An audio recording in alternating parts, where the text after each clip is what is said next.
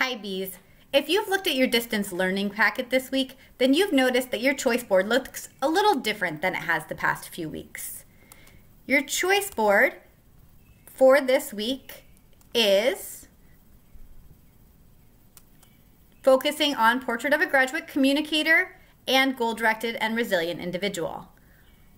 Today I'm going to be talking to you about a component of this first activity, Portrait of a Graduate Communicator. I use the writing process to organize my thoughts and share my ideas.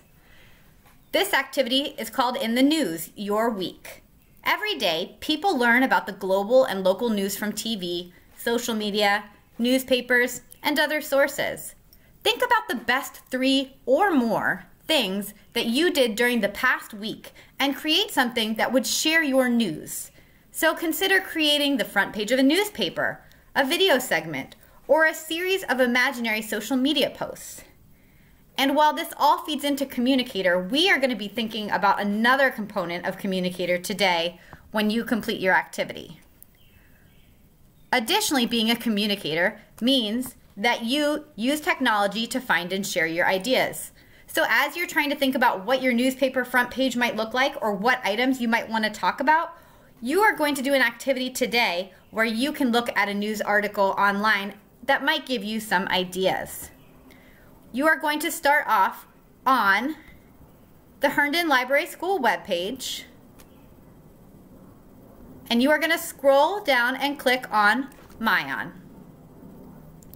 The button is right over here on the left. You use your login and password to get in.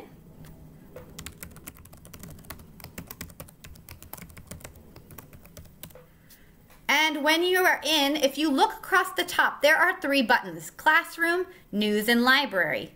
Usually we choose the Library button because we're looking at books, but today we're going to click the News button and it is going to take you to MyOn's daily newspaper. This is today's edition, Tuesday, April 28th and it has different articles that have to do with what's happening in the world today or what happened this week in history. You can also look at some others, so you can click back and see Friday's newspaper as well if you want to look to get some different ideas.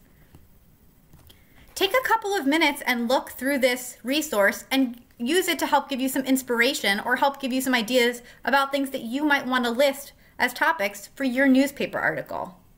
I hope you guys have a great week, and I'll see you next week. Bye.